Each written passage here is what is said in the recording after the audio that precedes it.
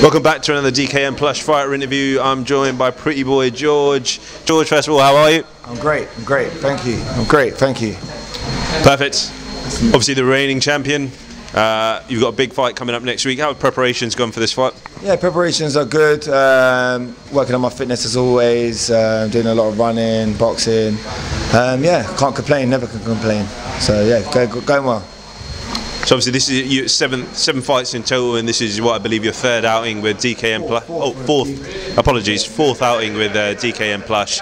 Um, what does it mean to you to be champion? Does it give you that extra bit of um, uh, motivation needed uh, to, to go that extra mile in the gym?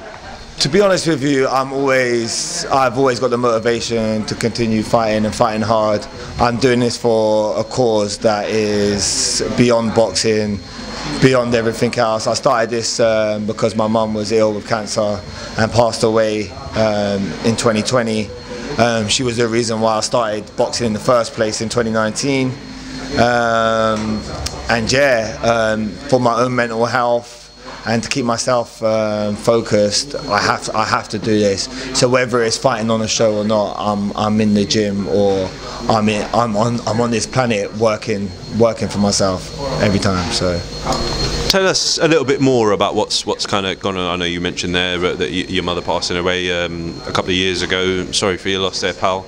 Uh, but what what in what What's come off the back of that? I, I, know somebody mentioned off camera that there was a charity involved. Okay, so yeah, so um, I'll try and make this sweet, as short as sweet, because um, it's a long, long story. But um, in 2018, I lost everything in my life. Um, I lost access to my son. I was battling drug and alcohol addictions. Um, lost my job. Got done for drink driving. Uh, my mom got diagnosed with cancer. Um, in 2019, I quit drinking started boxing. Uh, my mum had an operation to remove her pancreas, um, but sadly, a year later, she passed.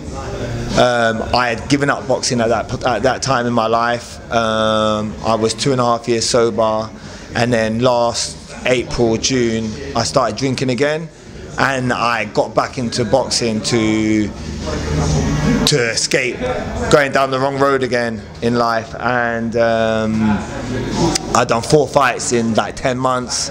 Um, which was just keeping me focused. In that time, I also started my own charity called the Maxine Schwartz Foundation, which is named after my mum. Um, my mum was one of the icons of my community. My mum was very good with children. She was a childminder. She was working with um, disabled children in a school before she passed. Um, I've learned in, within myself that I am put on this earth to help others and share my experiences to, to help others that are battling addictions, battling just staying alive really. So my what I'm actually starting to do is this Maxine Schwartz Foundation, which I named it maybe about five, six months ago. I've raised just under £2,000 for it, um, which I'm, once I register it as a proper charity, I'm planning to start something which will allow children to go after school from like 3.30 to 8, give kids rest, um, give parents respite, where kids can come and learn real life skills, learning um, how to, if they want to be a barber, they could be there at 13 years old learning to cut hair. If they want to be a boxer, they're there boxing. If they want to, whatever they want to do in life, real life stuff, we can we can learn, and a place for people to feel safe outside of school talk about problems. I've got I've had a few a lot of problems that I've held in and demons I've held in from a young age.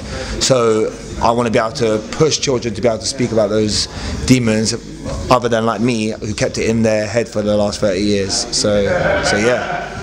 Well, that's a really good message that you're pushing there, George, and it's, it's trying to inspire our youth to uh, do something great with their lives. In regards to your opponent uh, on Night, do you know much about him?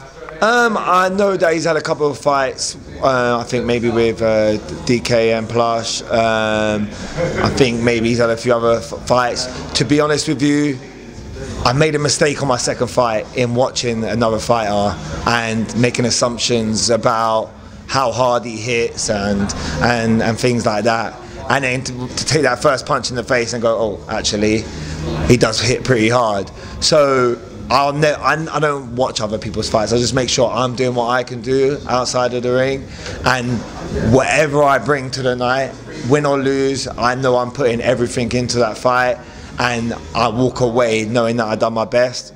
So that's that's that's all I that's all I can do really. So it doesn't matter what they, what they bring in. I'm gonna bring my A game, and that's all that matters.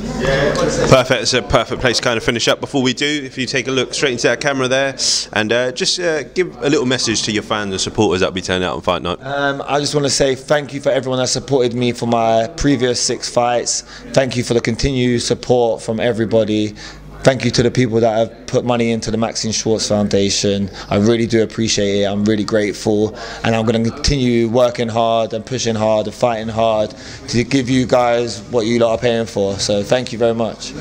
Well, George, thanks for speaking to us, and we'll see you on fight night. Thank you very much. Cheers, bro. Appreciate it, man. Thanks, man.